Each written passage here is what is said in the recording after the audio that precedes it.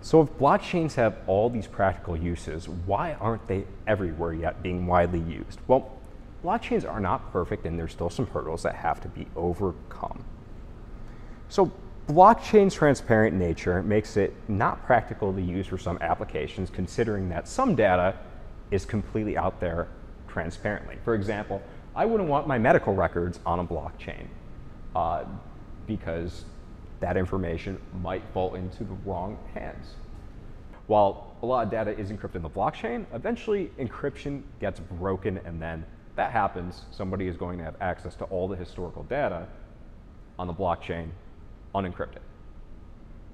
So there's some information that isn't quite suited to be put on a blockchain for privacy reasons.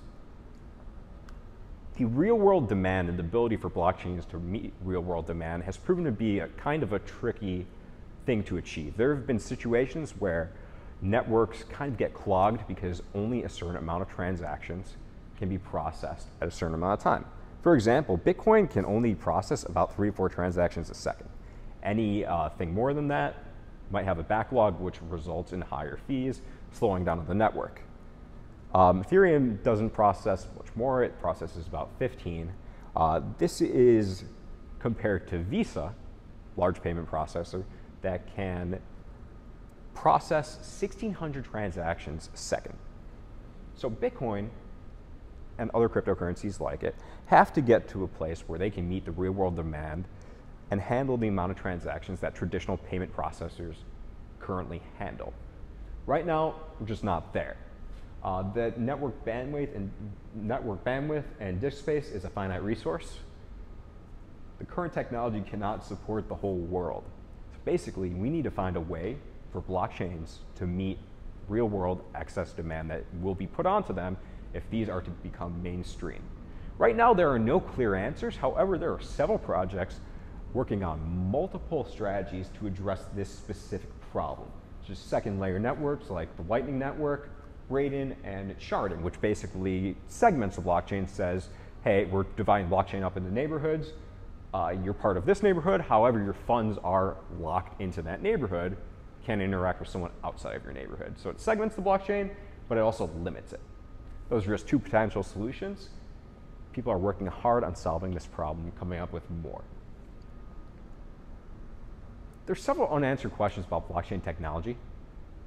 Governance, what do you do when things go wrong? It's tough to, again, find a decision or come to a decision in a decentralized network because you have so many different participants that want different things. Incrementalism, are we de too dependent on the tech? Additionally, appropriateness, is the data useful or needed forever? Now, once something's on a blockchain, it's there forever. It's on that ledger forever. Now, let's say I'm tracking a food shipment of an avocado, I don't need that avocado or the avocado's journey to be on the blockchain forever once it's already been consumed and eaten and the person uh, doesn't get sick.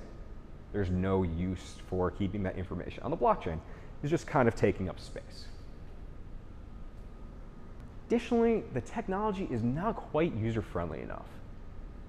Now, when I first got into the space three years ago, it was extremely difficult to do anything with the tools provided in the cryptocurrency space.